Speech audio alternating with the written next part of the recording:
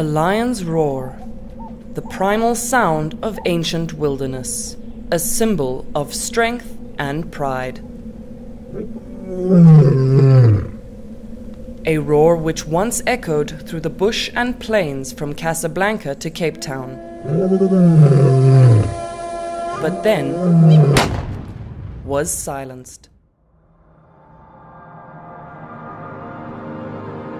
Hunted into extinction in North Africa and never heard again.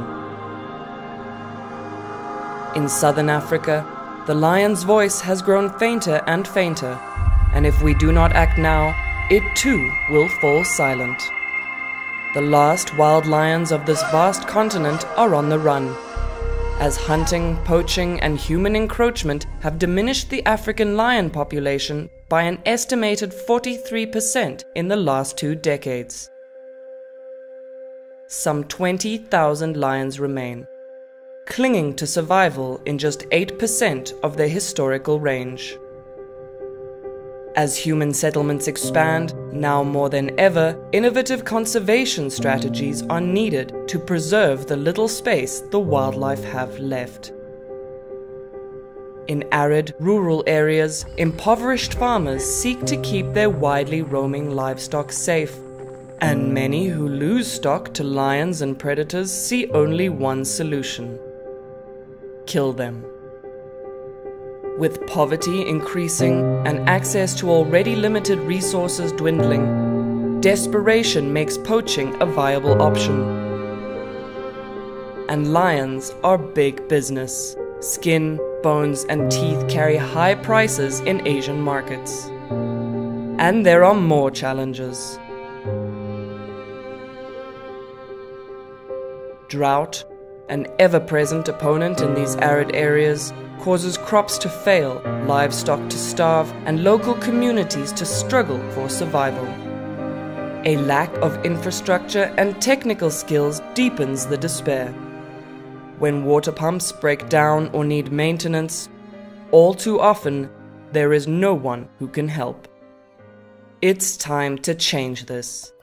The Lions are losing this fight and they need our help desperately. Mm-hmm.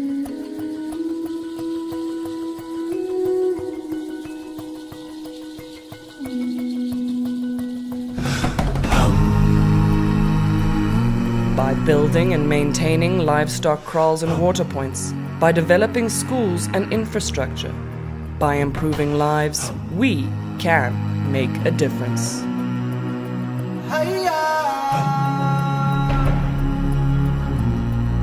As Buchi Emecheta said, a hungry man is an angry man.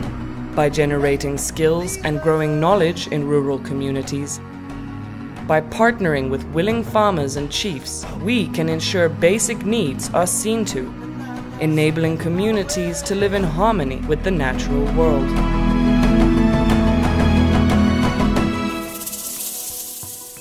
Combined with collaring and research on the lions, monitoring their behaviors and movement patterns, and sending early warnings to the farmers, these approaches can be used to save both lions and livestock. These lions roam, and in doing so, could supply much needed outside genes to the legendary desert lions, themselves a symbol of triumph through adversity. Our hope lies in the Corridor of Safe Passage, an area running from Etosha National Park to the Skeleton Coast, protected as it once was, where the lion can once more be king and where man and beast can live in peace, and most importantly, live at all.